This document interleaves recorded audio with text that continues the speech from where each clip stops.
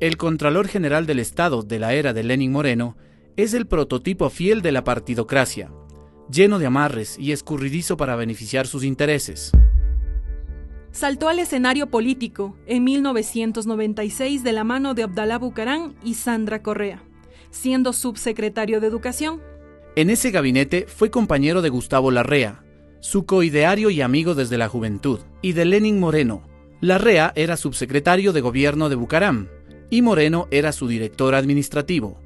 Pablo Celi lideró el polémico caso de la mochila escolar, por el cual Sandra Correa estuvo presa y Abdalá Bucarán fugó a Panamá. Sandra Correa le confió la subsecretaría porque era amigo cercano y militante del Partido Liberación Nacional, al cual ambos pertenecieron. Como ministra, no manejé un solo centavo de este caso.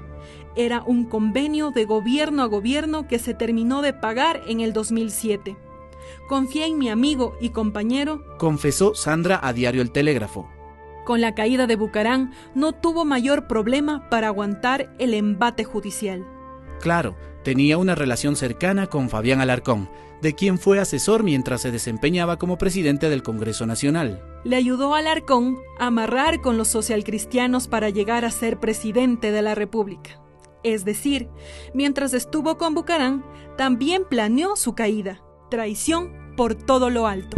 Mientras duraba la tormenta, Celi tuvo la capacidad de enrolarse en todos los gobiernos de turno, con Gustavo Novoa estuvo al frente de la coordinación de los diálogos para la creación del Libro Blanco de la Defensa Nacional. Y con Lucio Gutiérrez llegó su jugada maestra. El coronel le nombró asesor de presidencia el 17 de diciembre del 2003.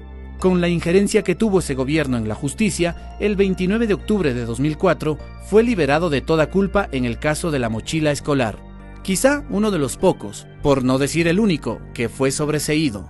En definitiva, Celi bailó al son que le tocaron. Estuvo con Abdalá Bucarán, luego le traicionó con Fabián Alarcón. Posteriormente, saltó al gobierno de Gustavo Novoa y dirigió la política de Lucio Gutiérrez sin sonrojarse. Su capacidad de amarre no se limita a la vida política. En la academia también surtió efecto lo cual le permitió ser director de la Escuela de Sociología de la Universidad Central. Así lo exponía a Diario Hoy en una de sus publicaciones. Varios de sus colegas comentan que llegó a ser director no por sus valores intelectuales, sino por la habilidad para amarrar bien una elección. Esos amarres le permitieron seguir en la Escuela de Sociología de la Universidad Central, pese a que 30 alumnos firmaron una carta solicitando su separación por su autoritarismo y por sus faltas.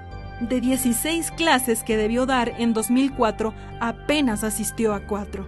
Fue en la academia donde se refugió hasta que su amigo, Carlos Polit, le llevó a la Contraloría como uno de sus cercanos colaboradores. Allí permaneció con bajo perfil, no sin antes aprobar al menos cuatro informes de la empresa corrupta y corruptora Odebrecht. Su ostracismo terminó al reencontrarse con sus amigos y colegas de juventud y de la época de Bucarán, Lenin Moreno y Gustavo Larrea. Como viejos conocidos, fue fácil hacer el amarre.